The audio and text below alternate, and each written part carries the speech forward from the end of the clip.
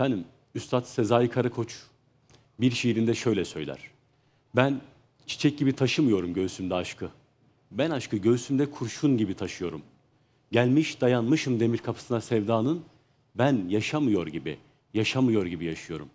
Ben aşkı göğsümde kurşun gibi taşıyorum. Şu vakitlerde gönlümüze bu şiirle açılış yapmak düştü. Sebebi hikmeti şu olsa gerek. Ramazan-ı Şerif başladığı günden bitişine kadar yılın 11 ayında göğsümüzde ama üzeri bir şekilde tortulanmış ama böyle kanamaya da yüz tutmuş bütün hasletleri bir kez daha ortaya çıkarıyor. Birbirimizle olan hukukumuzda da ola ki bir ihmalde bulunuyorsak böyle bir sızı gibi kendini hissettiriyor. Evladımıza karşı, annemize karşı, babamıza karşı ne kadar ihmal varsa hepsini aslında göğsümüzde taşıdığımız ama yılın 11 ayında o keşmekeş, o koşturmaca içerisinde üzeri tortulanmış olanların hepsi ortaya çıkıyor. Peki bu sene ne ortaya çıktı? Bir de deprem ortaya çıktı. Öyle kalbimizin orada yara kanamaya devam ediyor ince ince ama biz aslında onu kanarken de seviyoruz. Çünkü bize biz olmayı, acizliğimizi, kulluğumuzu hatırlatıyor tekrar tekrar. Peki yine ne çıktı? Ne yazık ki Mescid-i Aksa çıktı. Böyle o kanamaya devam ediyor. Biz kanadıkça diyoruz ki biz aciziz.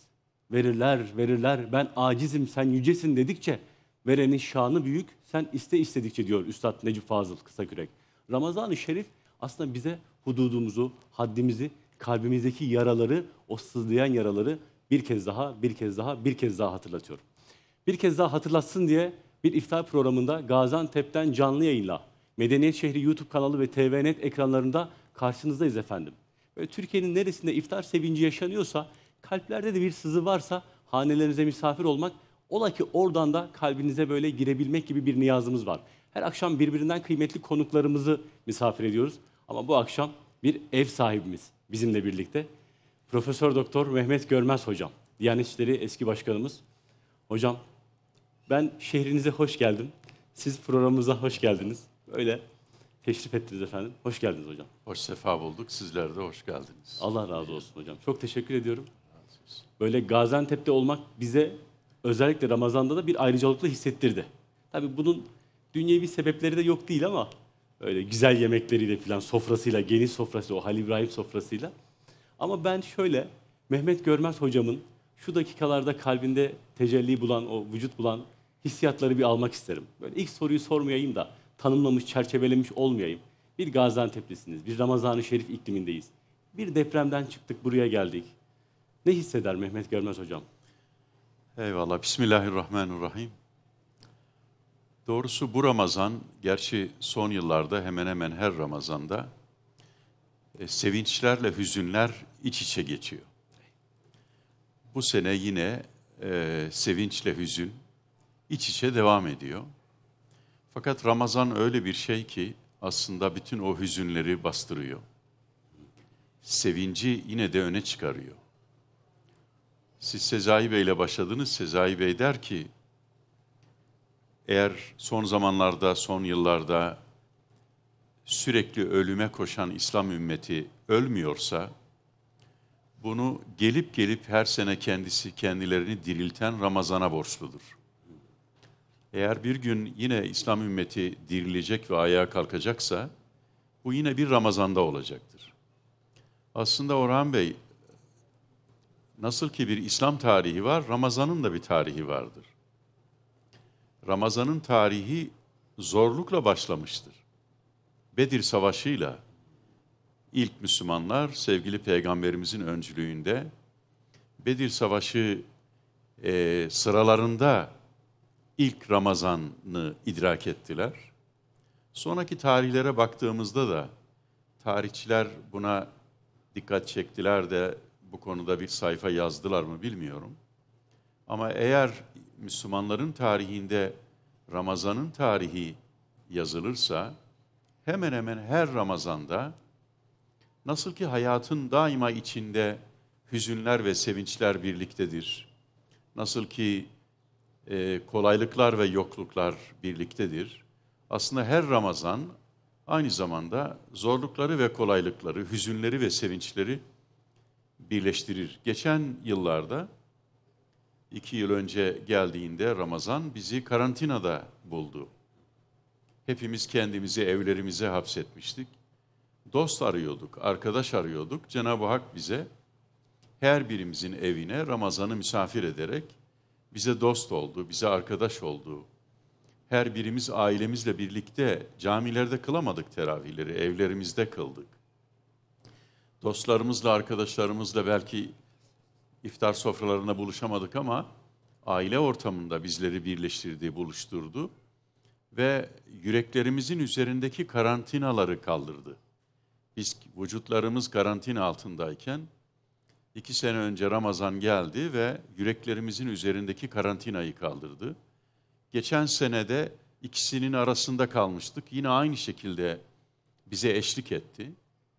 Bu senede sizin de ifade ettiğiniz gibi gerçekten de son asırların en büyük musibeti olarak adlandırabileceğimiz çok büyük bir deprem ile, deprem felaketiyle karşı karşıya kaldığımız bir zaman diliminin hemen akabinde Ramazan bize adeta gökten sabır yağdırdı, bize sabır getirdi, bize sekinet getirdi, bize dayanma gücü getirdi, bize metanet getirdi.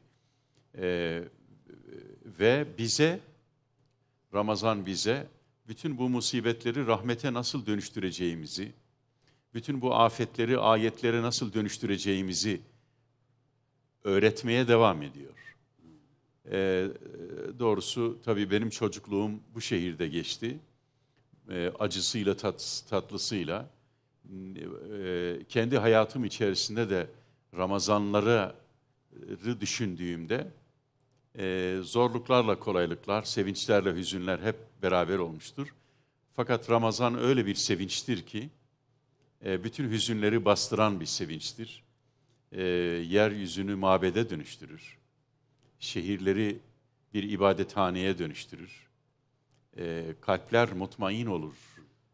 E, Ramazan'ı e, düşündüğümde, tabii bu vesileyle deprem bölgesindeyiz. E, depreme maruz kalan bütün kardeşlerimize, e, milletimizin her ferdine hem geçmiş olsun e, dileklerimi tekrar ifade etmek istiyorum. Vefat eden bütün kardeşlerimiz şehadet mertebesine nail olsunlar diye dua ediyorum. Geride kalan bütün kardeşlerimize de Cenab-ı Hak sekinet versin, sabır versin, umut versin ve bize gönülleri ve şehirleri yeniden mamur ederek ayağa kaldırmayı nasip etsin inşallah. Amin, inşallah. Antep'in, Gaziantep'in tarihteki adı Küçük Buhara'dır. İlim merkezidir. Yeniden o Küçük Buhara, Büyük Buhara ile bu- buluşsun. Ee, inşallah e, Adıyaman'la, e, Kahramanmaraş'la, Hatay'la birlikte depreme maruz kalan bütün şehirlerimizle birlikte yeniden ayağa kalkmayı nasip eylesin diye dua ediyorum. Amin inşallah. Hocam bugün sizinle birlikte e, Ramazan-ı Şerif'i biraz konuşmak isterim.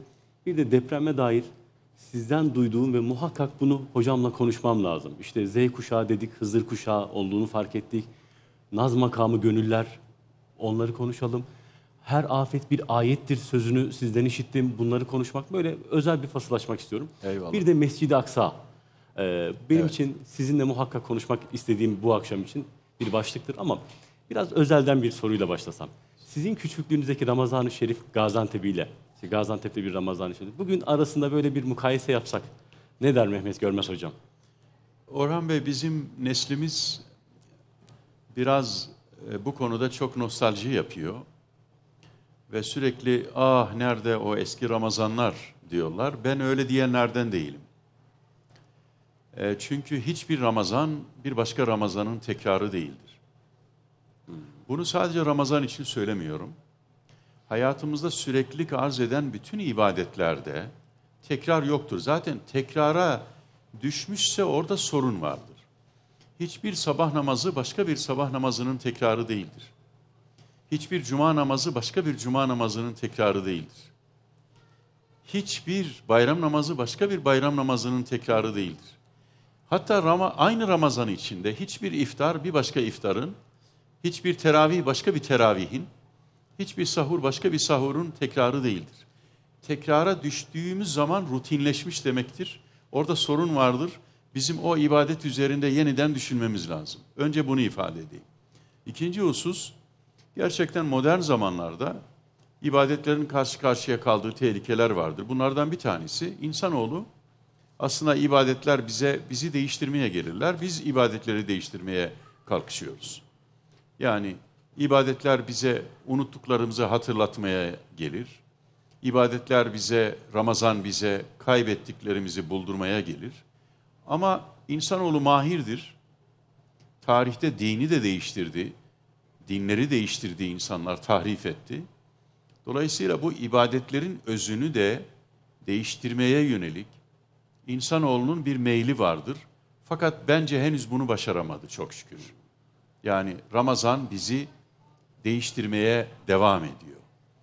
Ee, her ne kadar şöyle bir ideal olanı düşündüğümüz zaman, yani Cenab-ı Hakk'ın bu büyük mektebi, bu büyük ibadeti bize emrederken, e, yüce gayeleri, hikmetli gayelerini dikkate aldığımızda, belki o gayeleri gerçekleştirmekte zorlanıyor olabiliriz.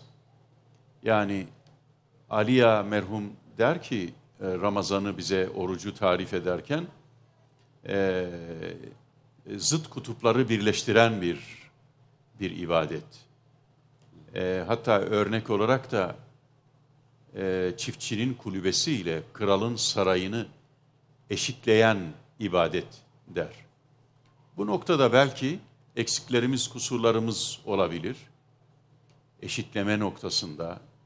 Ama buna rağmen e, en başta ifade ettiğim gibi bize her sene hayat vermeye devam ediyor.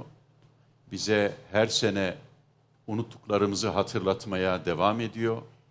Bize her sene kaybettiklerimizi buldurmaya devam ediyor.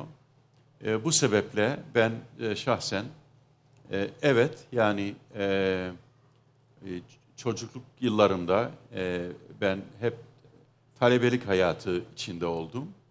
Yani o e, yoğun ilmi e, ezberlerimle me- metin ezberleme vardı bizde. E, oruçluyken hep o metin ezberlemelerle geçti hatırlıyorum ben. E, onun başka bir zevki vardı. E, fakat hiçbir Ramazan, hiçbir Ramazanın tekrarı değil. Her Ramazan biriciktir. E, ve her her Ramazan her mümin için aslında e, biriciktir. Biz bize düşen hep bir sonraki Ramazan'ı diğer Ramazanların tekrarına dönüştürmemektir. Burada bir tebessüme ve bir güzelliğe vesile olsun diye şunu söylemek isterim hocam. Şimdi Gaziantep Büyükşehir Belediyesi burada bir etkinlik kurmuş. Arkadaşlar bana söyleyince çok hoşuma gitti. Dedim ki bunu muhakkak duyurmak da icap eder. Diyor ki nerede o eski Ramazanlar söylemini değiştirdik, nerede o gelecek Ramazanlar? Peki niye diyorum? Çünkü biz bir üste çıkmak için çalışıyoruz diyor. Ha, Hani bir hep bir ümit var. Nerede, nerede o gelecek Ramazanlar? evet. E, yok, belediye ibadet içinde bu reklamı kullanmasın derim ben. E, ama e, e, söz güzel bir söz. E, gelecek Ramazanları yeniden inşa etmenin çabası içinde şimdiden olmak lazım. İnşallah, inşallah. Efendim şu bizim için önemli. Buyurduğunuz yerden Ramazan'a kendimizi ne kadar teslim edebiliyoruz? Ee, ve ne kadar vukufiyetine vakıf olabiliyoruz?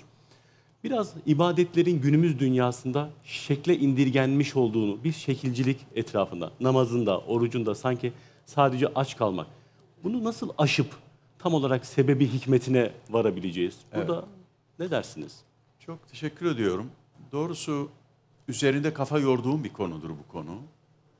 Hem yani bir e, ibadet eden bir mümin olarak e, hem de ibadetlerin e, seyir sülukunu takip eden bir insan olarak zannediyorum modern zamanlarda ibadetlerimizin karşı karşıya kaldığı çok ciddi tehlikeler var. Bunlardan dört tanesini hasreten ifade etmek isterim. Birincisi e, akıl, şuur ve tefekkür boyutu. Yani e, ibadet e, bilinçli yapılması gereken bir e, bir davranıştır. E, ve aslında bizden istenen hayatın tamamını ibadete dönüştürmektir. Yani e, insanın iki çeşit ameli vardır. Biz bir kısmına taabbudi amel diyoruz, bir kısmına taayyüşi amel diyoruz. Tayyüşi amel dediğimiz şey günlük hayat içerisinde yaptıklarımız, e, maişetimizi kazanmak için yaptıklarımız, çalışmalarımız vesaire. Tabudi amel ise namazımız, orucumuz, zekatımız vesaire. Bizden istenen hayatı ikiye ayırıp birini başka şekilde, birini öbür şekilde yapmak değildir. Bizden istenen tayyüşi amelleri de tabudi amele dönüştürmektir. Bunun için de niçin ve nasıl soruları, bilhassa gençlerin çok meraklı oldukları niçin ve nasıl soruları üzerinde kafa yormak lazım. Cenab-ı Hak e, sıfatı bir sıfatı el hakimdir. Dinde ve ibadet hayatımızda e, anlamsız, faydasız, gayesiz hiçbir şey yoktur. Her birisinin bir hikmeti vardır. Namazın her rükününün muhteşem hikmetleri vardır. Secdenin hikmetleri vardır, rukuun hikmetleri vardır. Orucun, iftarın, sahurun, e, Kadir Gecesi'nin, bayramın her birisinin hikmetleri vardır. Biz biraz e, ibadetlerimizi daha güçlü hale, bizi değiştiren bir ibadete dönüştürmesi için işin bu akıl, şuur ve tefekkür boyutu üzerinde düşün. Ben niye namaz kılıyorum? Bu secdenin manası nedir? Rukuun manası nedir? Namaza dururken tekbir alıyorum. Elimin arkasında bir şeyler işaret ediyorum. Burada semboller var. Her birisinin bir anlamı var yani. Elimi niye kulaklarıma kaldırıyorum? Sonra elimi neden bağlıyorum? Bazı kardeşlerimiz salı veriyorlar. Niye salı veriyorum? Yani ruku ne ne anlamı ifade ediyor? Secde. Bütün bütün varlıklarla birlikte secde. Bütün kainatla birlikte secde ne manaya geliyor? Birincisi bu. İkincisi gönül boyutu. Yani ihlas, samimiyet boyutu, niyet boyutu. Niyetin Arapçadaki manası çekirdektir. Ve bu bu çekirdek tohumdur. İbadetin tohumudur o. Dolayısıyla o niyet e, boyutu, gönül boyutu üzerinde ayrıca ihlas ve samimiyet boyutu. Orada bir gösteriş, riya olmaması. Sizden işitmiştim. Her ibadetin bir kıblesi vardır. O da niyettir. Evet, evet, doğru efendim. Doğru. Niyet, niyet e, ibadetin kıblesidir. Yani kıb, kıblegahımız bellidir. Ama o kıblegahın bu kıbleyle buluşması lazım. Kalpteki kıble niyettir. Bunların ikisini birleştirmemiz gerekiyor. Bir başka husus, e, yine ibadetlerimizi kuşatan, karşı karşıya kaldığı bir tehlikede rutinleşmesi ve sıradanlaşması. Nispeten bu Ramazan hiçbir Ramazan Ramazan'ın tekrarı değilken onu ifade ettim. Yani e, ruhunu kaybedip sadece şekle indirgenmesi. Elbette şekil önemlidir. Şekil ruhun viasıdır, kabıdır. Biz kabı kaybettiğimizde içindekini de kaybederiz. Şekilde ısrarcıyız. Ama ruhunu kaybeden bir şekilciliğe hayır. Dördüncü bir husus ise haram lokmadır. Haram lokma, ibadetlerin bütün feyzini, bereketini alıyor. İhlasını, samimiyetini ortadan kaldırıyor. Hazreti Ayşe validemiz Allah Resulüne soruyor. Ya Resulallah du- dua ediyoruz. Dualarımızın kabul olup olmadığı konusunda tereddüt yaşıyoruz. Ee, Allah Resulü diyor ki mat'amuhu haramun, meşrebuhu haramun, melbesuhu haramun, fe enna yüstecab.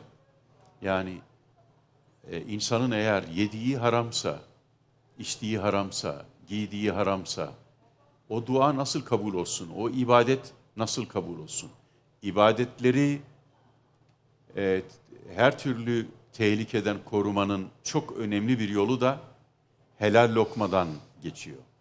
Bunlara eğer riayet edilirse, yani o tefekkür boyutu, gönül boyutu, efendim rutinleşmemesi için müminin çaba içerisinde olması e, ve e, haram lokmadan uzak durması e, takdir. O, bunlar gerçekleştiği zaman e, ibadet e, aslında ibadet varlığın dilidir. İbadet varlığın dilidir. El ibadetu lugatul vücud der bir filozofumuz. Bütün kainatın dilidir. o kainatın diliyle ortak konuşmaya başlarız. Bu, bu tehlikelerden ibadetlerimizi koruduğumuz zaman ve Cenab-ı Hak onları kendi nezdinde kabul edecektir. Ee, ve o ibadet bizi en başta ifade ettiğim bizim gündelik e, maişetimizi de ibadete dönüşü- dönüştürecektir. Taayyüşi ameli taabbudi amele dönüştürecek. Ramazan'da olduğu gibi yeryüzü bir mabede dönüştürecek. Evimiz bir mabede dönüşecek. Dükkanımız, fabrikamız bir mabede dönüşecek. Ve topyekün ibadet halini yaşamış olacağız. Ee, Cenab-ı Hak bu bilinci nasip etsin diyeyim. Sezai Bey bir kitabında şöyle söyler efendim, Samanyolu'da ziyafet. Oruç insanın her yıl bir ay katıldığı bir ruh şölenidir. Evet. Biraz o yani diğer ibadetlerde de o zaman sizin buyurduğunuz yani rutinden çıkması için bir şölene dönüştürmek icap ediyor gibi duruyor o zaman. Festivale değil, festivale değil ama ruh şöleni kavramı gerçekten önemlidir. Ee, Sezai Bey'in e, oruç felsefesi ve orucun hikmetiyle ilgili yazdıkları ben şahsen geçen sene bir vesile oldu. Bir mukayese yaptım. Önce Arapça e, araştırma yaptım. Acaba Arap aleminde Orucun ve Ramazan'ın hikmetiyle ilgili yazılmış kaç kitap var? Toplamaya çalıştım. Kaç meşhur yazar bu konuda kalem oynatmış? Meşhur Rafi'i diye bir zat var. Onun Vahyül Kalem diye bir kitabı var. Ee, kalemin vahyi. Vahyül Kalem'de Ramazan ve oruç bölümü var. Hayran kaldım. Yani çok gerçekten çok çok çok güzel şeyler yazıyor. Abbas Mahmut Akkat var. Siz tanırsınız. Meşhur bir edebiyatçı. Onun yazdığı oruç yazıları vardır. Efendim Muhammed Gazali var. Muhammed Kutup var. Aliya yazdı malumunuz. İkbal yazdı. Fakat e, Sezai Bey ile mukayese ettiğimde behemehal e, Sezai Bey'in yazdıklarının Arapçaya ve diğer bütün Müslümanların lisanlarına çevrilmesi gerektiğine inandım. Çok daha farklı çünkü. E, çünkü hepsinden farklı olarak yani bu literatürü taradığımız zaman İslam edebiyatı içerisinde orucun ve Ramazan'ın hikmetini kaleme alan yazarların bütün yazılarını araştırdığımız, ortaya koyduğumuz zaman e, 5-10 kadar farklı bakış açısı ortaya çıkıyor. Bunlardan birisi ağırlıklı olarak bir Kur'an mektebi olarak tasvir ederler.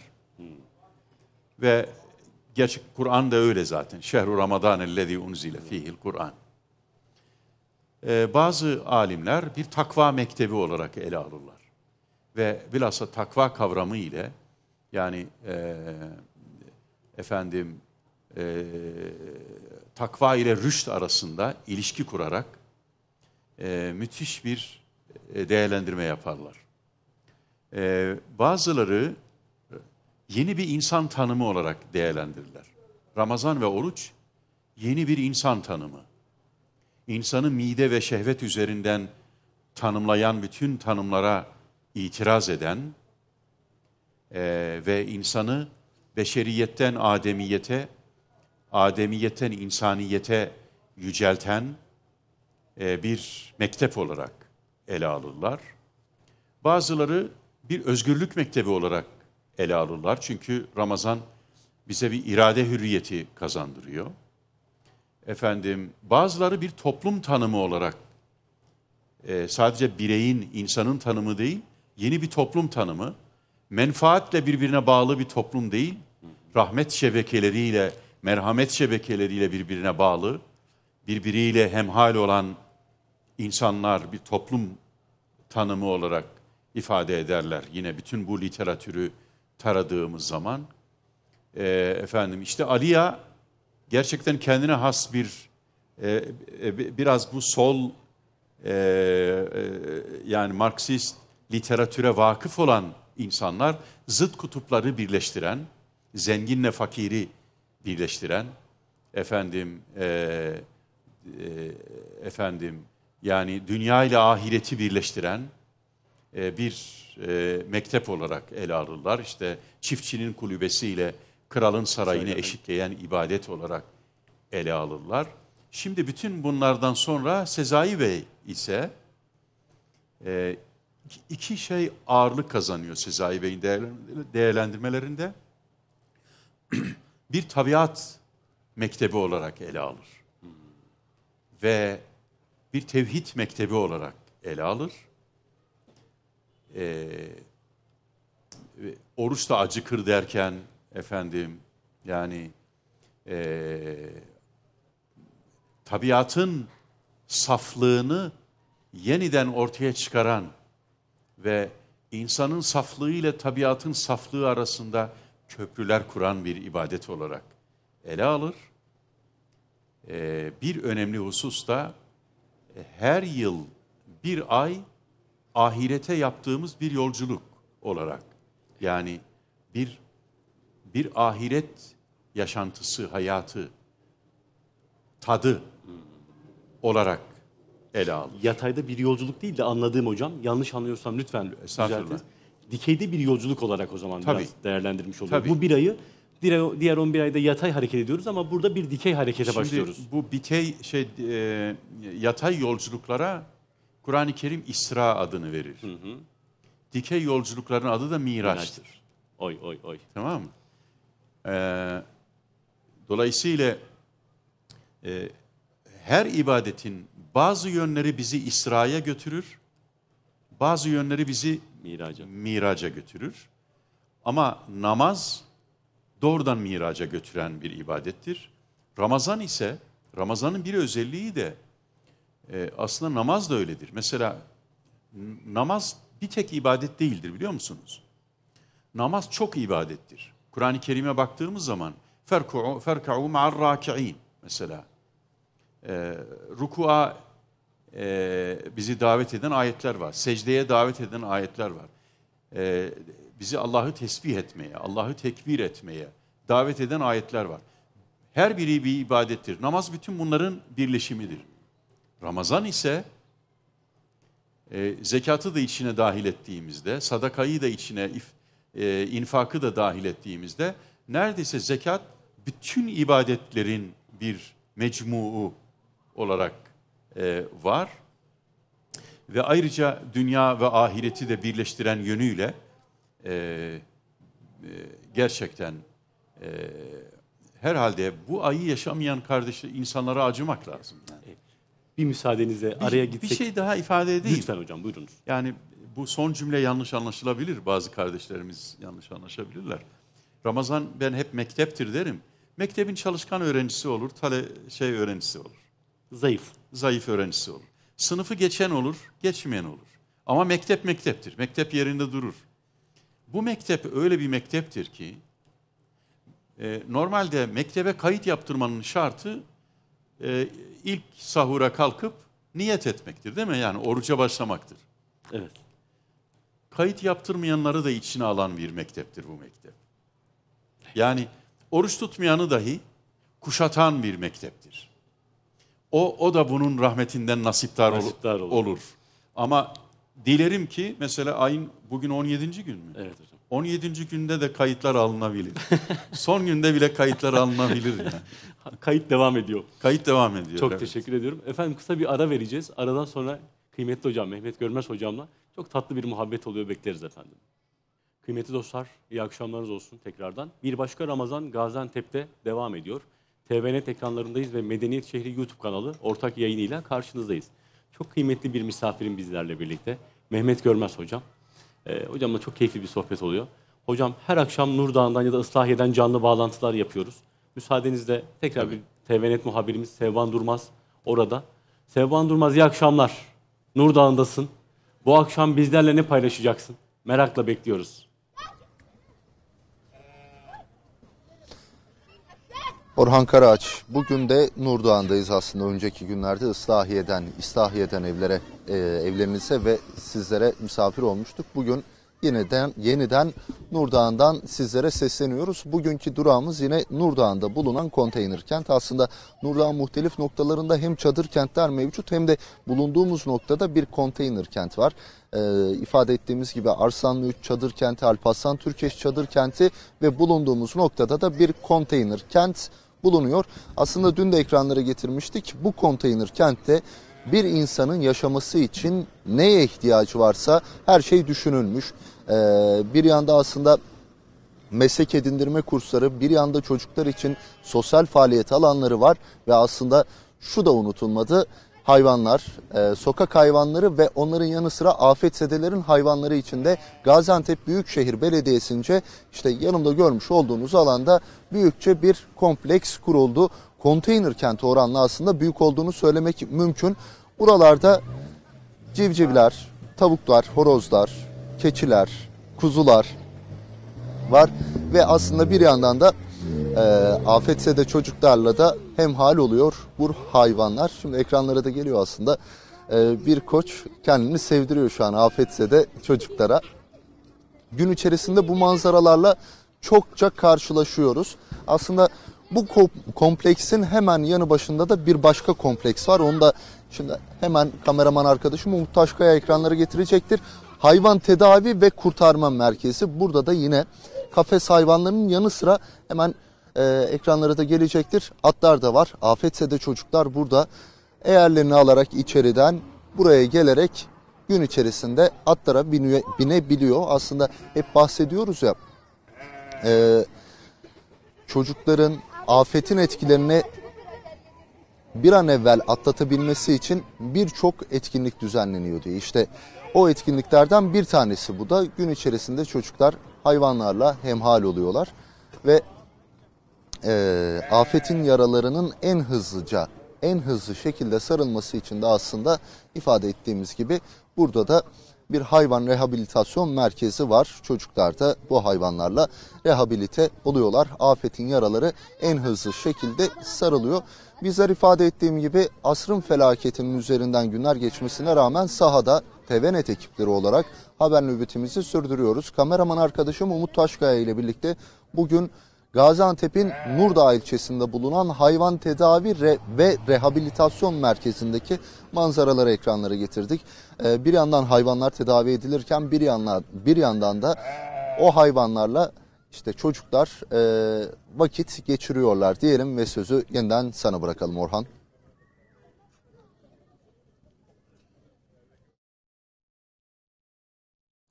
TVNet muhabiri Sevban Durmaz Nurdağ'dan aktardı. Çok teşekkür ediyoruz Sevban. Allah razı olsun. Gönlüne bereket. Hocam depremi sizle konuşmak istiyorum. Depremde eee, böyle gönlümüzde rahatlatan hatta böyle bazı görüntüler oldu ve sizden de birçok şeyi duyduk ve böyle zihnimize kazındı. Onlar da bize bir yeni bir kapılar açtı filan. Siz depremin ilk günü itibariyle neredeyse Nur Dağı'ndaydınız, bu bölgedeydiniz. Böyle gözlemlerinizi, hissiyatınızı ve şu ana kadar ki olan mevzuları bir anlatır mısınız bize? Yani nasıl bakacağız mevzuya? Eyvallah. Çok, çok teşekkür ederim. Ee, ikinci geceden itibaren önce Nurdağ ve Eslahiye'de, e, sonra Kahramanmaraş'ta, Adıyaman'da ve Hatay'da bulundum. Ee, tamamen acaba bir faydam olur mu bir birey olarak? Zaman zaman dostlarımla beraber e, dolaştım. Ee, Orhan Bey ilk büyük intibam e, şükrettim Allah'a. Yani musibetin büyüklüğü karşısında milletimizin sabır ve metanetini e, görünce elhamdülillah iyi ki müminiz. İyi ki varlığı maddeden ibaret kabul etmiyoruz. İyi ki hayatı dünyadan ibaret kabul etmiyoruz. İyi ki ölümü ebedi hayatın kapısı olarak gören bir inancın mensuplarıyız. Eğer iman olmazsa e, gerçekten bu tür musibetlere bir beşerin katlanması mümkün değildir. Tahammülü mümkün değildir. O ilk hali ben bazı doktor arkadaşlarımızla konuştuğumda Diyorlardı ki bu şok diyorlardı. Ben diyordum ki psikoloji bunu izah etmeye yetmez. Henüz psikolojinin çok gelişmesi lazım. E, bilakis yani gerçekten e, insanlar yani annesini, babasını, çocuklarını kaybetmiş, canını, cananını, evini, barkını kabul etmiş ama yine Rabbine iltica etmiş nice insanlarla karşılaşıyorsunuz. Ama zaman zaman da niye ben diye böyle e, ona serzeniş bile denemez ama e, hikmetini sual etmeye çalışan mümin kardeşlerimiz de oluyordu. Dolayısıyla ilk benim yani gerçekten çok büyük bir musibet E, ve bu musibet karşısında bizim milletimizin ortaya koyduğu o sabır ve metanet hayranlık uyandıran bir husus. İkinci hayranlık uyandıran bir husus da e, doğudan batıdan, kuzeyden güneyden e, kadın erkek, çocuk genç herkesin seferber olup buralara gelmesi. Bu gibi zamanlarda milletlerin cevherleri çıkar ortaya. Milletimizin cevheri yeniden kendisini gösterdi ve e, herkes ekmeğini, suyunu paylaşmaya e, yahut e, e, bir canlıyı kurtarmaya e, geldi ve seferber oldu. Bunların içerisinden gençlerin olması beni e, biraz, biraz daha fazla sevindirdi. Yani hemen hemen her bölgede, her e, e, çadır kentler kurulurken vesaire gönüllü gençleri buldum. E, Z kuşağı dediğimiz kuşağı siz Hızır kuşağı. Evet ben İsmini- ben ben bunu bilhassa e, hep anlatıyorum. Lütfen yani hocam. Saman Dağı'nda İstanbul'dan e, aralarına para toplayarak sac alıp bir meslek lisesindeki öğrencilerin e, kaynak atölyesinde onları sobaya dönüştürüp e, yine para toplayıp kendi aralarında e, bindirip oraya getiren gençleri görünce yani gerçekten gözlerim yaşardı ve orada kendilerine yüksek sesle öyle dedim. Siz size Z kuşağı diyorlar ama siz Hızır kuşağıymışsınız. Allah Hızır kuşağını arttırsın dedim yani. O, o açıdan hakikaten e, çok e, önemli buldum yani gençlerin bu e, tavrını da e, çok önemli buldum. Eyvallah. Bir de hocam bu deprem zedeler için gönülleri naz makamındadır dediniz. Ben orada bir sorsam neyi kastettik? Evet yani aslında bu soruya muhatap olmak şöyle beni üzüyor. Ee, din dini söylemlerimizin, din dilimizin e, hikmetten, mecazdan, edebiyattan, sanattan e, yoksun kaldığının göstergesi olduğu için yani biz çok dar bir din diline mahkum olduğumuzu e, işaret etmesi bakımından e, bu sözüm nasıl yanlış anlaşıldı e, izah etmekte zorlanıyorum doğrusu. Çünkü hem Kur'an ve sünnet açısından hem e, muhteşem İslam edebiyatı açısından bizim yabancısı olduğumuz bir ifade değil naz makamı. Yani söylediğim cümleyi tekrarlamak isterim. Hem de iftiharla tekrarlamak isterim. Depremzedeye, deprem, depreme maruz kalan kardeşlerimizin gönülleri naz makamındadır. Onların gönülleri Rabbe karşı kırık, devlete karşı buruk olabilir. Bu olabilir bir bir caizdir bir fetva ifadesi değil. Bir ihtimalden söz ediyorum ve hemen arkasından çağrımı yapıyorum. Ama bu kırıklığı ve burukluğu ortadan kaldırmak bizim vazifemizdir. Hem de her birinin yüreğine rahmetle, şefkatle dokunarak. Ee, Orhan Bey, elbette bu kadar e, yakınlarını e, kaybeden, bu kadar canı acıyan, e, kalbine hüzün çöken, hani Allah Resulü'nün sevgili İbrahim'i vefat edince e, gözünden yaş akar da e, sen de mi ya Resulullah derler. İnnel uyune le tedma gözler yaşarır. İnnel kulube le tahzen kalpler hüzünlenir. Ve la nekulu illa ma yardallah. Biz sadece Rabbimizin razı olacağı şeyler söyleriz buyuruyor. Dolayısıyla e, bu, kadar canı acıyan müminlerin e, Allah katındaki makamı bence nazlı kullarıdır. Yani onlar nazlı kul olmayacak da kim nazlı kul ol- olacak? Ayrıca bu kalbi kırık ifadesi bizim hadis literatüründe el kulubul munkesira diye müstakil başlık altında yer verilir. Yani Allah'ı kırık kalplerde arayınız. Allah'ı buruk kalplerde arayınız. Bunun çok güzel örnekleri vardır tasavvuf tarihinde çok güzel örnekleri vardır. Dolayısıyla benim aslında e, bu ifadem hem e, hem depreme maruz kalmış kardeşimin acısını dindirmeye çalışan e, bir ifade e, hem de millete bir çağrı. Yani e, rahmetle ve şefkatle yüreklere dokunalım. Çünkü e, Orhan Beyciğim, e, ben bu depremlerden korkmam. Ben bu depremlerin metafizik artçılarından korkarım. Fizik, fiziki artçılarından da korkmam. Ne demek efendim metafizik? Ne demek o? Genelde tarihe baktığımız zaman bu tür büyük musibetlerden sonra nice toplumlar inançlarını kaybetmiştir. Nice nice toplumlar e, içinde efendim e, çok büyük oranda insanlar intihar etmiştir. Kendilerini tamamen kaybetmiştir. Bu onun için dedim ya bu iman gücümüz e, bizi bu tür, bu tür musibetlere karşı da koruyan bir güç aynı zamanda. Allah'ın varlığına inancımız, hayatın dünyadan ibaret olmadığına inancımız ve ölümün bir yok olmak değil, ebedi bir hayatın başlangıcı olduğuna inancımız. E, depremlerde vefat eden insanlar vücudunu mucidine feda ederler.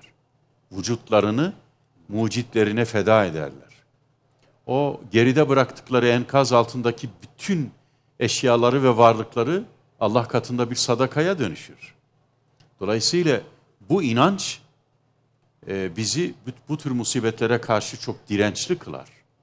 Sabır, bizim sabrımız bize direnmeyi emreden bir sabırdır. Bunu söylerken sadece bir eksik yer kalır. O da bütün bunları ifade ederken eee, insanın yapıp ettiklerine, insanın yanlışlıklarına mazeret bulmaya çalışmamamız lazım. Yani Tedbir e, noktasında da. evleri doğru kurmayan, şehirleri doğru kurmayan, yanlış yerlere kuran, efendim mühendisidir, mimarıdır, e, kimse artık o. Yani e, insanın mazeretlerini ne bir kılıf olarak bunları elbette kabul etmek doğru değil. Bir soru sorsam hocam Lütfen, müsaade buyurursanız. Şimdi hani biz gönlü naz makamındadır ifadesini nasıl dil daralmasından dolayı anlayamıyorsak bakış açımızda şurada da geldiğimiz modern dünya diyeceğim 2023'te bir ayrıma gittik gibi. Bütüncül bakamıyoruz. Tedbirle takdiri birbirinden ayırdık gibi sanki. Evet. Burada ne dersiniz? Evet yani e, çok çok e, önemli bir şey söylüyorsunuz.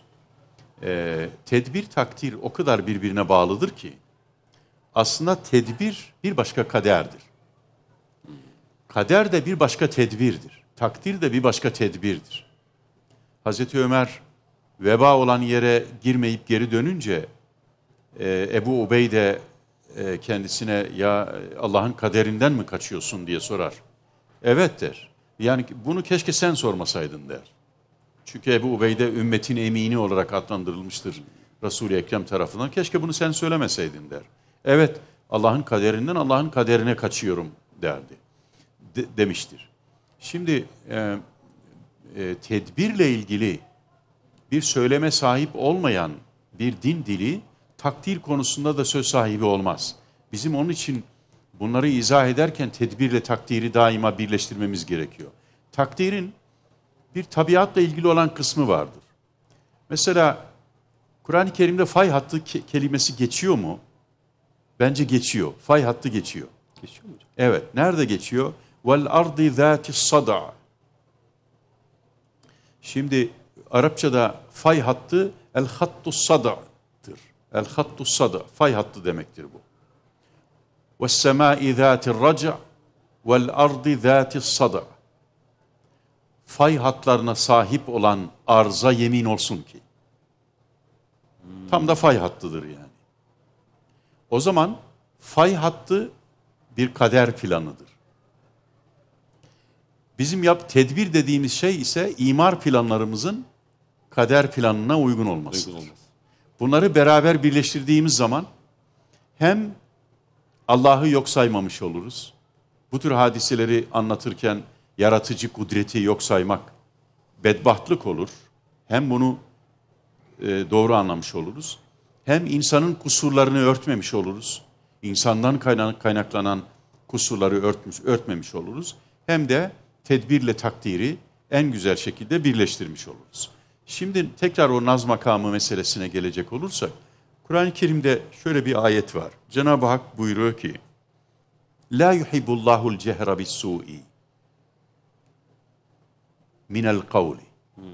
Allah kötü bir sözün açığa çıkarılmasını sevmez, istemez. La yuhibbullahul cehra bis-su'i minel kavli. Ama bunun bir istisnası vardır. İlla men zulim. Mağdur Mazlum hariç. Mazlum. Mazlum hariç.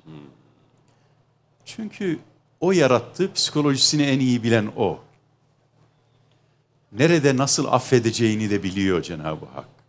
Yani kulunu en iyi tanıyan o. Allah Resulü bu ayetten ilham almış olacak ki der ki eee, efendim eee leysel hicabu beynallahi ve beynel mazlum. Allah'la mazlum arasında hicap yoktur. Allah'la mazlum arasında perde yoktur. Yani Allah mazlumun duasını kabul eder. Allah ittaku davetel mazlum. Affedersiniz. Hadis öyle. İttaku davetel mazlum. Aman ha mazlumun bedduasından kendinizi koruyun. لِأَنَّهُ لَيْسَ بَيْنَهُ وَبَيْنَ اللّٰهِ حِجَابٌ Çünkü mazlumla Allah arasında hicap yoktur. Perde yoktur. O doğrudan bağlıdır yani.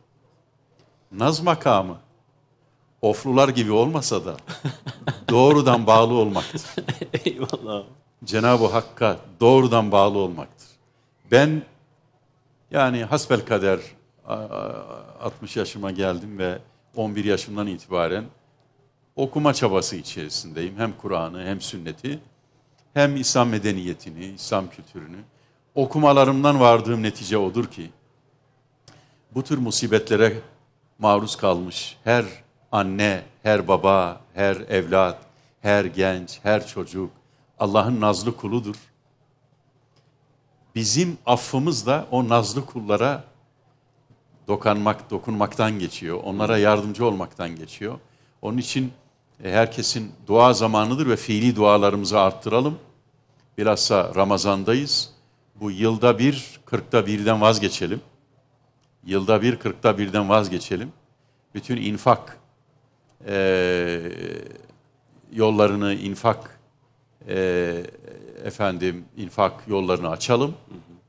E, ve e, her iki evi olan bir kardeşimiz bir depremzede kardeşine evini açsın. Onu görüyorum, şahidim Ankara'da, İstanbul'da. Ama bedbaht kimdir? Tam da bu dönemde bedbaht kimdir?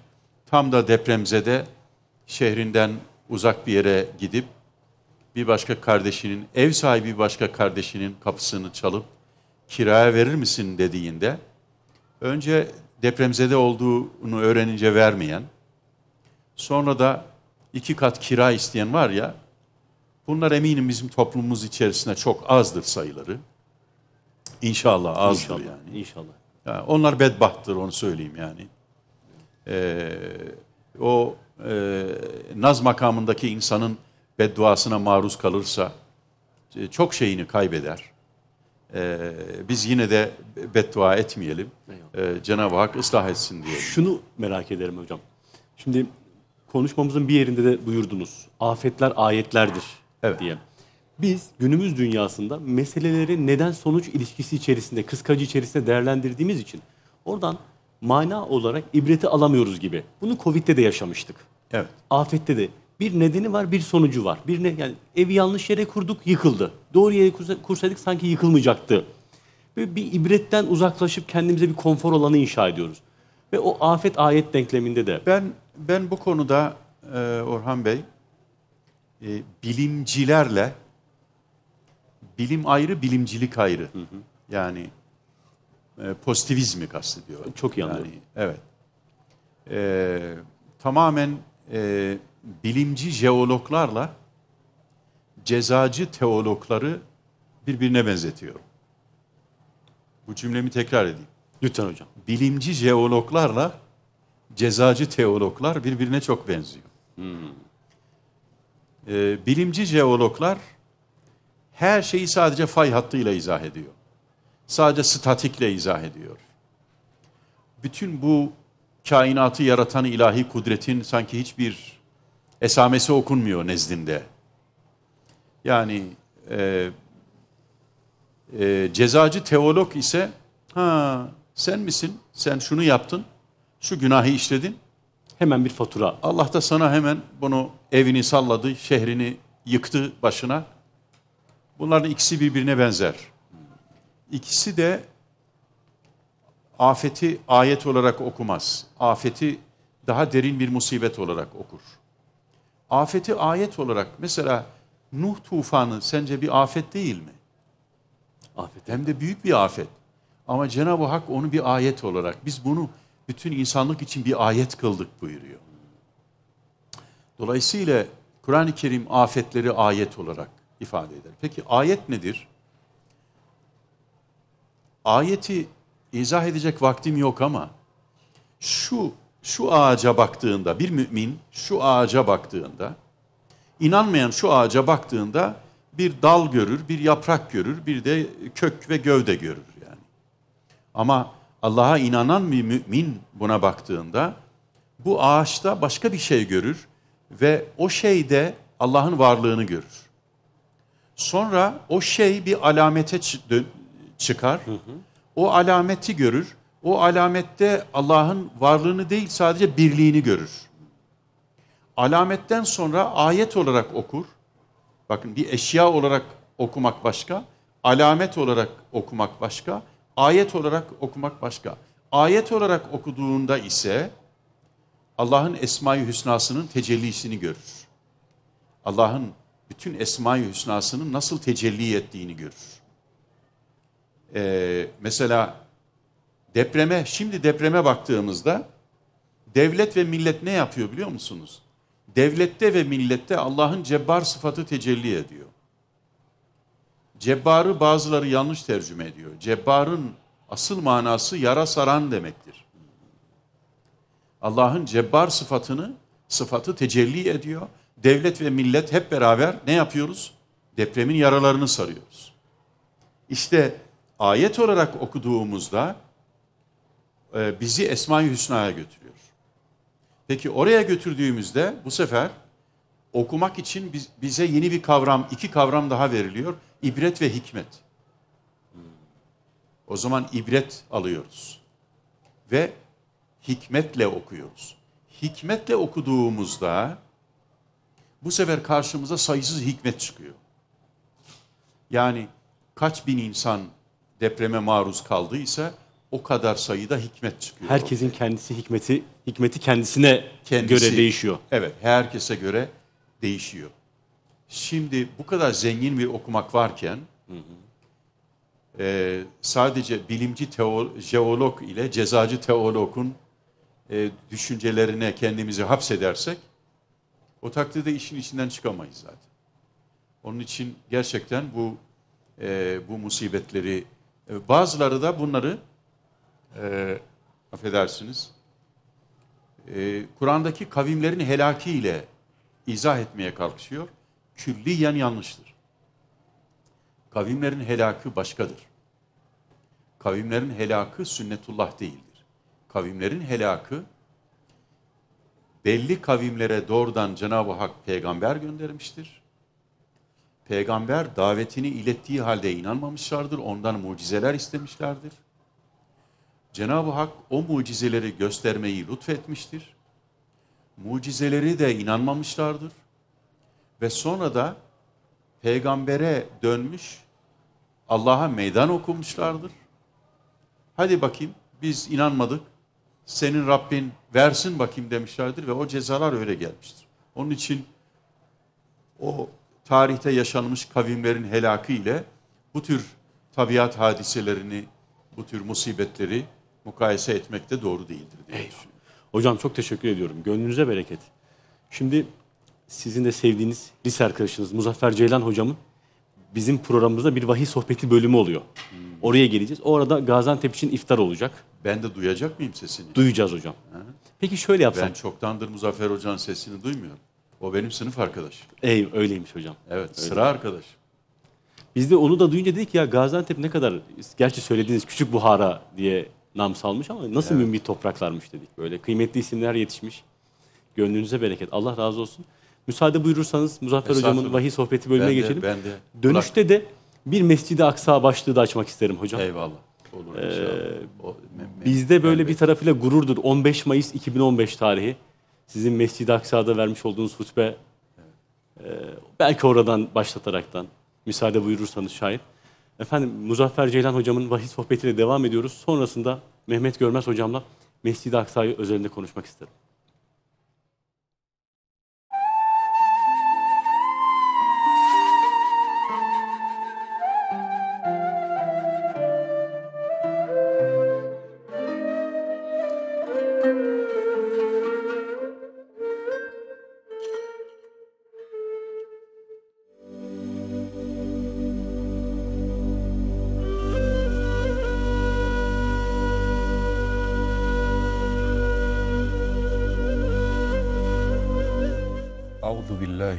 Mineşşeytanirracim. Bismillahirrahmanirrahim.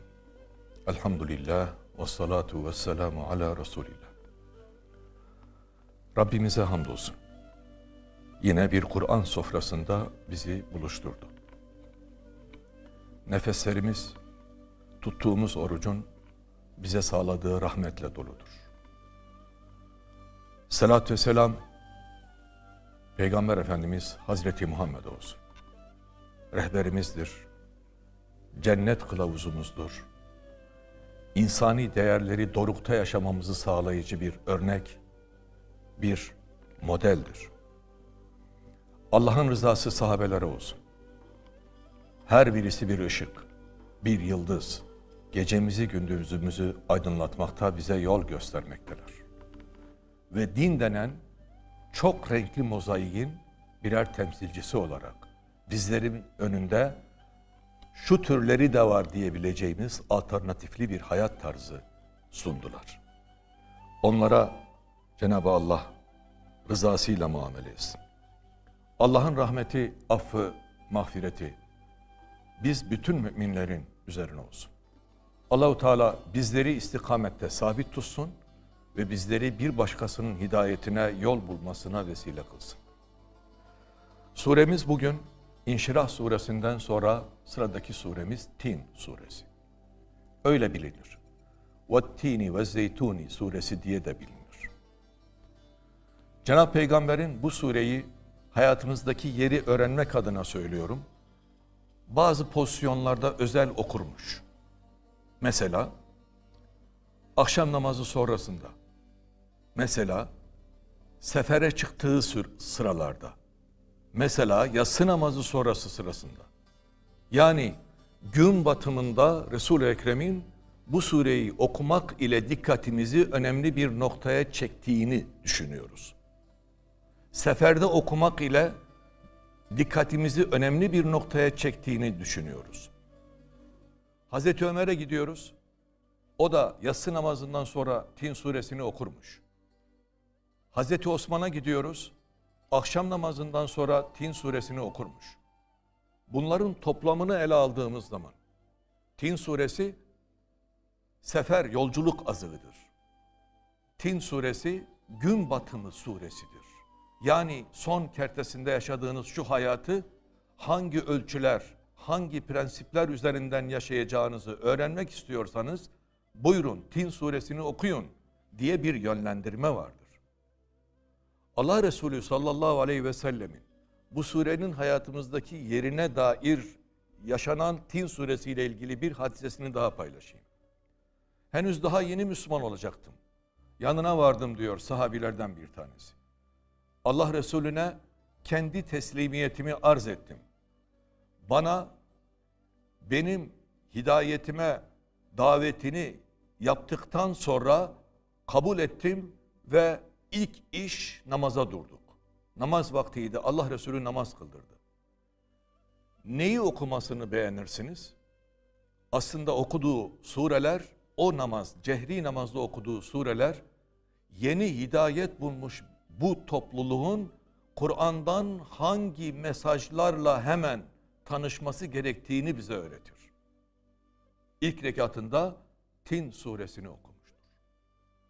Demek ki İslam'la, kullukla, Cenab-ı Hak'la ilk tanıştığımız sıra neler öğrenmeliyizin cevabı olarak Tin suresini Tin suresi yerini alıyor. Bu surenin taşımış olduğu manalar bizim hidayetimizi ze istikamet sağlayacak, hidayetimizi pekiştirecek, ilk öğretilerini sunacak özellikte önemde bir suredir bu sure. Evet, demek ki yolculuk dedik, akşam vakti, yatsı vakti dedik ve İslam'la tanışan ilk insana duyuracağımız ilahi öğreti dedik. Yeri, önemi bu şekilde özetlenebilecek bu sure acaba neyi anlatıyor? Şimdi ona gelelim. Bismillah. وَالتِّينِ وَالزَّيْتُونِ وَطُورِ سِينِينَ وَهَذَا الْبَلَدِ الْاَمِينَ Yemin olsun incire, yemin olsun zeytine, yemin olsun bu emin beldeye ve yemin olsun Tur-i Sina yani güzelce bezenmiş olan bitkileri ağaçlarıyla güzelce bezenmiş olan Sina Dağı'na. Cenab-ı Hakk'ın yeminlerle önümüze getirmiş olduğu bu şeyler açıklamalarından anladığımız kadarıyla önemli bazı mekanlara dikkat çeker. Tin mekanı, zeytun mekanı, Tur Sina bir dağdır ve Emin belde Mekke'dir. Bunlar mahaller, mekanlardır. Peki niye Allah yemin içerek bizlere bunları hatırlatır? Çünkü yemin kıymet verdiğiniz bir şeye içilir. Kıymet verdiğiniz. Hani bizim en kıymetlimiz kimdir? Cenab-ı Allah'tır. Vallahi billahi tallahi diye mahsusen ve sadece ona yemin içerek söze başlarız. Kimi önemli vereceğimiz mesajlar ya da bilgiler için. Cenab-ı Hak açısından kulların dünyasında önem arz ettiğini gördüğü bazı şeylere yemin içmiştir. Demek ki bir, önce yemin içtiği şeylere dikkat kesileceğiz. Acaba niye burada bu yemin içilmiş? Bu yeminin nedeni, hikmeti ne diyeceğiz? İki, yeminden sonra Allah hangi önemli bilgiyi verecek ki o bilgiye yeminle başlamıştır. Şimdi ona girelim. Bunlar bazı mahaller. Bu mahallere peygamberler göndermiş Allah. Hazreti Nuh Aleyhisselam'dan tutun, Hazreti İbrahim'e, İbrahim'den tutun İsa'ya, İsa Musa'ya, Musa'dan tutun İsa'ya, İsa'dan tutun Muhammed Aleyhisselam'a varıncaya kadar peygamberlerin yaşadığı mekanlar Cenab-ı Allah'ın bu peygamberlere indirdiği vahiy, vahiy indirmesi ve o peygamberlerin bunu bir hayat tarzı olarak ortaya koyduğu mahaller, mekanlardır buralar. O zaman verdiği mesaj açıktır. Yemin içilmeye değer bir kıymet öğretiyorum size diyor Allah. Nedir o kıymet? Bulunduğunuz mekanlara Allah'ın vahyini bir gündem, bir amel, bir paylaşım olarak taşıyın. Taşıyın ki ben onların üzerine yemin içecek kadar oraya kıymet vereyim. Onların üzerine yemin içecek kadar oraya kıymet vereyim. O zaman başlayalım. Önce kalbimiz. Kur'anlı kalp, vahiy taşıyan kalp ile vahiy taşı, taş- taşımayan kalp arasındaki fark nedir? Ölü ile diri arasındaki farktır. Vahyin hükümran olduğu bir ev ile konuşulduğu, paylaşıldığı, yaşandığı bir ev ile vahyin hiç konuşulmadığı bir ev nedir? Viran olmuş ve mamur olmuş bir ev farkı gibidir. Vahyin vücut bulduğu, sokaklara, çarşılara, pazarlara, mahkemelere, ekonomik hayata, ilişkilere, savaşa, barışa taşındığı bir toplum ile taşınmadığı bir toplum arasındaki fark nedir? Zulüm toplumu ve adalet toplumu arasındaki fark gibidir. O nedenle mekanlar, mahaller, ilişkiler Allah'ın vahyiyle kıymet kazanır. Allah vahyin indiği ve hükümran olduğu bu mev- mevkilere, bu ilişkilere büyük bir kıymet verir. Öyle ki hatta Aleyhisselatü vesselam Efendimiz kendisinde Allah'ın kitabının okunduğu bir evi tarif ediyor. Bir ev ki kitap okunuyor. Okunan ayetler anlam olarak paylaşılıyor, karşılıklı müzakere ediliyor. Yetedâresûnehu beynehum. Sonra ne oluyor böyle bir eve? Cenab-ı Hak teveccüh gösteriyor. Meleklerine inin bakalım diyor. Melekler ışığı nuruyla birlikte inerler. Rahmet burayı çepeçevre sar diyor. Rahmet o evi ahalisiyle birlikte çepeçevre sarıyor. Cenab-ı Hak oradaki insanları kendi katında değerli kullar olarak anacak şerefe, izzete erdiriyor. Değerli kullar. Bunları bilin diyerek tembihte bulunuyor. Yetmiyor. Cenab-ı Allah oradaki kulların yani o ev ahalisinin taksiratlarını affediyor. Melekler oranın sakinleri. Şeytanlar oradan ırak tutuluyor. Rahmet oraya iniyor. Sekinet dediğimiz sukunet, huzur orayı kaplıyor. Allah o kulları özel listesine alıyor, değerler listesine ve o kulları mağfiret ediyor, affediyor. Böyle bir ev tarifi var aleyhisselamın. Bir başka haberden buna ek yapayım. Melekler oranın sakinleri olarak yaşarlar. Şeytanlar oradan uzak tutulurlar. Peki tam tersi olursa vahyin yaşanmadığı bir yer şeytanların mesken kurduğu bir yerdir. Edindiği meleklerin uzak durduğu bir mekandır. Orası zulümat, karanlık ile çevrelenmiştir. Rahmet oradan uzaktır. İşte tin ve zeytun ve tur sinin ve hadel beledil emin. Giriş bölümünü bununla yetindirelim. Bir sonraki inşallah programımız bunun devamı olan ayetleri okuyacağız. Velhamdülillahi Rabbil Alemin.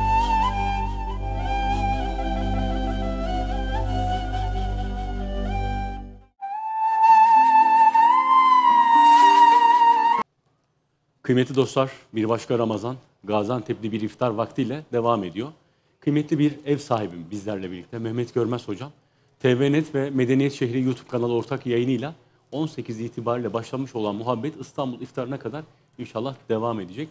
Ramazan-ı Şerif'i konuştuk. Bizim üzerimizdeki manevi etkilerini, hikmetini. Depremi konuştuk. Hocam ikinci gün itibariyle bölgedeydi.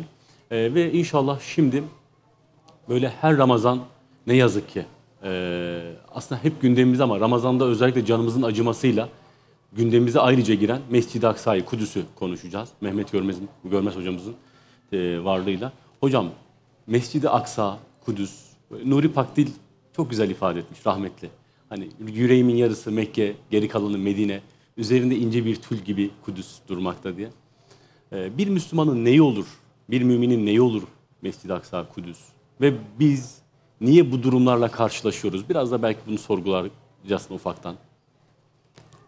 Evet tabii son yıllarda hemen hemen her Ramazan'da e, İslam ümmetinin bu Ramazan ve bayram sevinçlerini e, büyük bir hüzne dönüştüren bu e, işgalci İsrail'in e, her sene yaptığı bu kötülük e, hakikaten e, artık bütün sınırları aşan ve e, sonlandırılması gereken bir durum.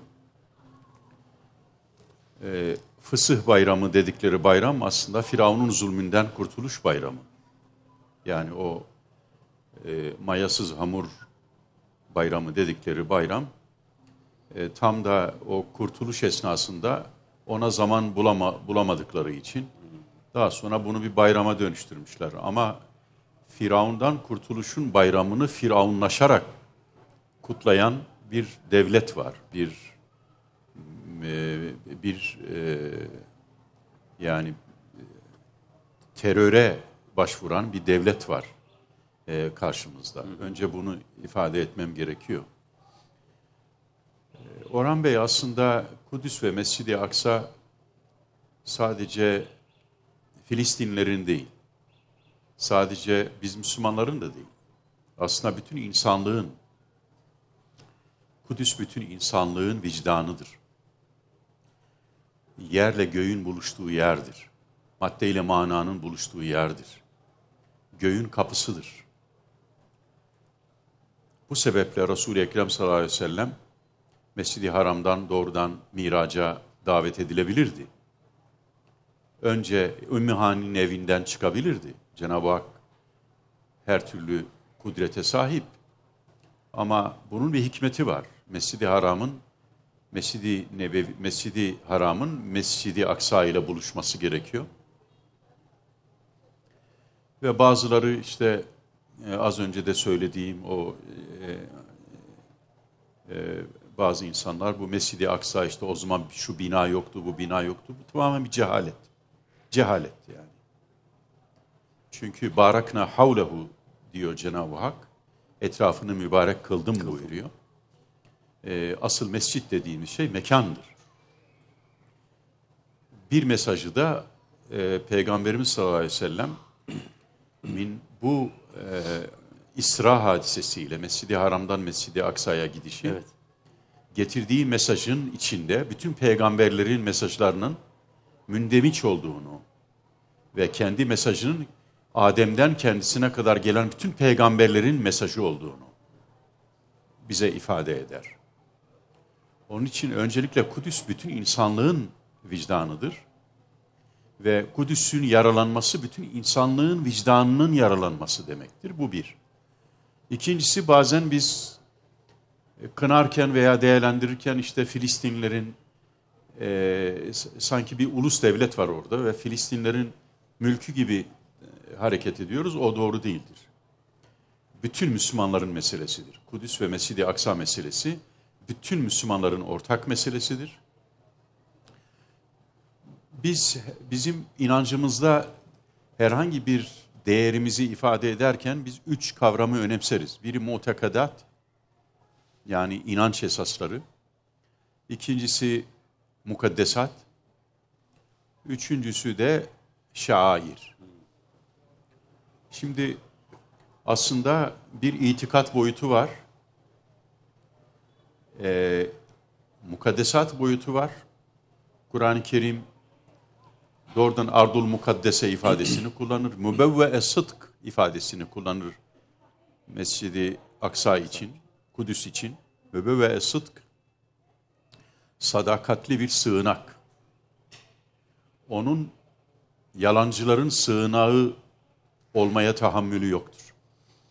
Kudüs yalanın sığınağı olamaz. O mübevve sıdktır. Yani sadakatin, sıdkın, doğruluğun sığınağıdır. Ee, üç yerde Kur'an-ı Kerim doğrudan barakna havlehu buyuruyor. Mübarek kıldığını ifade ediyor. Peygamberimiz sallallahu aleyhi ve sellem de sayı hadiste bu üç mescidi birbirinden ayırmıyor. Mescidi Haram, Mescidi Aksa ve Mescidi Nebevi'yi üçünü birleştirerek bizde bir bilinç oluşturuyor. Bütün bunlar beraber bir Kudüs bilinci oluşturuyor. Kudüs bilinci sadece bir mekan bilinci değil, aynı zamanda bir özgürlük bilinci, bir ümmet bilinci, bir vahdet bilinci. Ee, dolayısıyla e, bizim e, inancımızın, medeniyetimizin bir parçası. E, tarih boyunca da e, bu şehirde, bu şehri kuran Müslümanlar e, gerçekten daima onu Darüsselam olarak, barış yurdu olarak kalmasını sağladılar. Yani başkaları hep girdiklerinde tarumar ettiler, talan ettiler. Ama hem Hazreti Ömer'in ilk fetihi hem e, Selahaddin Eyyubi'nin fethinden sonra e, bütün insanlığa bu şehri bütün peygamberlerin bir emaneti olduğu şuuru ve bilincini ortaya koyarak birlikte nasıl yaşayabileceğimizi bütün dünyaya, bütün insanlığa göstermiş bir medeniyet olarak e, bu talepte elbette ısrar etmemiz gerekiyor. O zaman şöyle bir çıkarım yapsam yanlış mı olur hocam? Mescid-i Aksa'nın durumu, suhuleti, uhuleti ya da içinde bulunduğu kriz biraz insanlığın kendi halinden de ahvalinden de haber veriyor. Bir böyle ayna gibi. Bence de. Bir müsaade buyurur musunuz? Bir şey okumak isterim hocam. Lütfen buyur. e, reklama giderken söylemiş idim. 15 Mayıs 2015 bir cuma vakti e, Mescid-i Aksa'da bir hutbe irad ettiniz. Ve bizim için şöyle de bir önemli tarafı vardı. Türkiye Cumhuriyeti dönemi içerisinde tek Diyanet İşleri Başkanlığı olarak siz orada bulundunuz. E, ve biz de onu izledik. Bize de nasip oldu izlemek. Çok da gururlanmıştık. E, orada hutbenizden bir bölüm hocam okumak isterim. Oradan aklıma gelen bir sual var. Müslümanlar Allahü Teala'nın Kur'an-ı Kerim'deki emri gereğince Mescid-i Aksa'yı geçmiş ümmetlerden miras olarak aldılar. Müslümanlar tarih boyunca bu emaneti muhafaza etmişlerdir. Müslümanlar Kur'an-ı Kerim'e uyarak Mescid-i Haram, Mescid-i Nebevi ve bu mübarek Mescid-i Aksa'yı ve Allah'ın diğer mescitlerini koruyarak tüm ins- insanlık tarihinde en seçkin ve en hayırlı ümmet olmuşlardır. Evet. Hutbenizden bir bölüm. Bu bizim bugün ümmet olarak durumumuz hakkında ne söyler hocam? Orayı koruyamıyor muyuz? Ümmetlik kalitemiz mi düştü? Benim e, bir de e, o gün cumadan sonra akşamla yatsı arasında e, mihrapta yaptığım bir konuşma vardır. Veya kürsüde yaptığım bir konuşma vardır. E, baktım ki karşımda Türkler daha çok. Hatta Türkçe konuştum. Tercüme ettiler. Orada şöyle bir ifade e, var. Dedim ki bu mescit aslında bütün taşlarıyla önce bütün insanlığa sesleniyor. İnsanlığa diyor ki yerle göğün arasını kesmeyin. Madde ile manayı ayırmayın. Göğün kapısını kapatmayın. Bunlar tabii mecazi ifadeler ama anlaşılıyordur eminim. Ee, birincisi bu. Sonra bütün Müslümanlara hitap ediyor. Bu mescit bütün taşlarıyla birlikte diyor ki e, mukaddesatı işgal altında olan bir ümmet e, miraca çıkamaz. Mukaddesatı işgal altında olan bir ümmet miraca çıkamaz. Vahdet içinde olmayan bir ümmet mukaddesatını koruyamaz. Ayrıca vahdet daveti var. Vahdet içinde olmayan bir ümmet Mukaddesat. mukaddesatını koruyamaz. Kendi kalbinin semasına miraca çıkamayan, zihnini ve kalbini kötülüklerden koruyamayan bir ümmet miraca çıkamaz.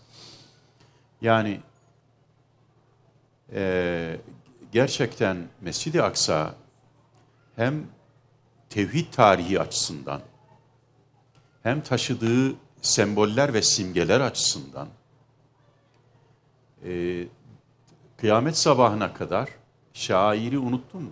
Bir de şair olma özelliği var. Şair e, Müslüman olma ve Müslüman kalma bilincini diri tutan semboller ve simgeler demektir.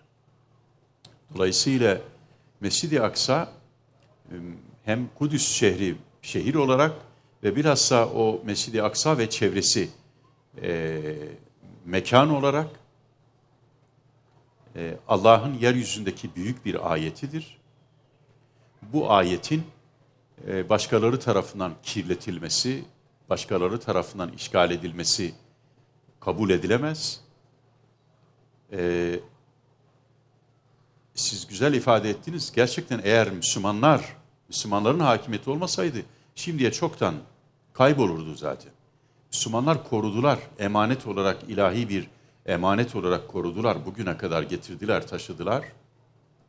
Bundan sonra da başka din mensuplarının da barış içerisinde yaşayacakları e, bir e, gerçekten bir barış yurdu olarak eğer e, insanlıkta insanlığa hizmet etmeye devam edecekse bu yine devam eder. Ben e, o ziyaretimde Kudüs müftüsüne bir hediye götürmüştüm. Hediye Sultan e, Yavuz Sultan Selim'in emannamesiydi. Emanname. Emanname e, şehirde yaşayan herkese e, inançlarınızda özgürsünüz. Efendim e, sizden ağır vergiler alınmayacak, askerlik görevlerinden muafsınız vesaire gibi imtiyazlar dağıtan bir emanname. Emannamenin ilk cümlesi çok dikkatimi çekti. Emannameden önce Ohdetul Ömeriye yani Hazreti Ömer'in emannamesine yer veriliyor. Sonra diyor ki binaen ala haza yani Hazreti Ömer'in yaptığı ve size verdiği bu emannameye binaen Aynen. ben de size şu emannameyi veriyorum diyerek. Yani tilke ummetun kad halet. Onlar geçtiler ama bizim e, özellikle e, biz Müslümanların e, aklımızı başımıza alarak e, sürekli e, Kudüs üzerinden, Mescid-i Aksa üzerinden e, aşağılanan, işkenceye tabi tutulan, kültürel bir aşağılanmaya maruz kalan bir ümmet olmaktan e, çıkmak için daha çok, daha büyük çabalar sarf etmemiz gerekiyor. Kudüs sadece Filistinlerin meselesi değildir. Bütün Müslümanların, Mescid-i Aksa, bütün Müslümanların ortak meselesidir. Hocam çok teşekkür ediyorum. Ben de çok teşekkür Gönlünüze ediyorum. bereket. Böyle bir bir muhasebe gibi yanınıza edepsizlik etmek istemem ama Estağfurullah. emannamelerle farklı dine mensup insanların birlikte yaşamaya saygı duymaları ve bir yaşama kültürü inşa edilmiş. Bugün geldiğimiz yerde ise sanki farklı milletlerden olmak ümmet olmaya maniymiş gibi. Evet. İ- İslam aslında insanlığa bunu ders olarak öğreten bir dindir Orhan Bey. İslam medeniyeti diğer bütün medeniyetler medeniyetlere farklı inançlara sahip insanların birlikte yaşayabileceklerini, e, bir birlikte yaşama ahlakı ve hukuku inşa edebileceklerini gösteren bir dindir. E, Hazreti Ömer'in bilhassa bu adaleti tesis etmek için bu coğrafyada e, sarf ettiği çabayı biliyoruz. Resul-i Ekrem aleyhisselam e, men aza zimmiyen fakat azani. Bir zimmiye eziyet eden bana eziyet etmiş olur. Bu zimmi kelimesi daha sonra sanki küçümseyici bir ifade olarak kullanılır. Halbuki zimmet kelimesi çoğunluğun uhdesine aldığı, yani bir bir çoğunluk toplum e, azınlık kaldı ki çoğunluk azınlık kelimeleri de bizim tarihimizde yoktur. Ekalliyet ve bilmem e, ekseriyet tasnifi yoktur bizde. Bizde sadece e, her bir yapı kendisi müstakil olarak kabul edilmiştir. E, eğer Müslümanlar bir cemaatin, bir topluluğun, farklı inança sahip olan bir topluluğun emniyetini, güvenini, hayatını üstlerine alırlarsa zimmetlerini onlar üstlerine almış olurlar.